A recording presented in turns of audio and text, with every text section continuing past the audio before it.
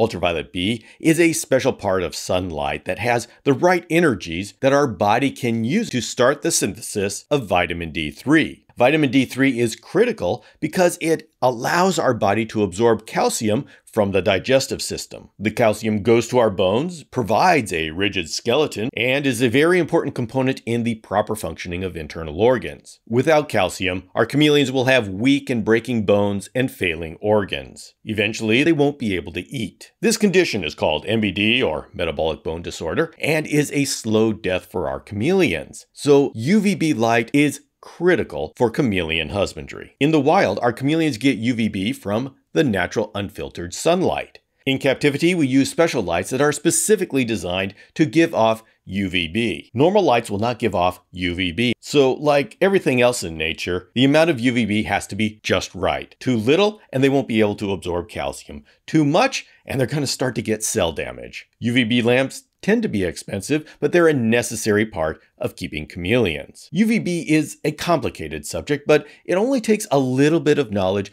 to be able to effectively use it within your husbandry. And with this, you're going to be able to give your chameleon what they need to live a long, healthy life. This is the first in a six part series on UVB. Tomorrow, I'm going to go into UVB technologies. Follow Chameleon Academy for the whole series. I'll see you tomorrow.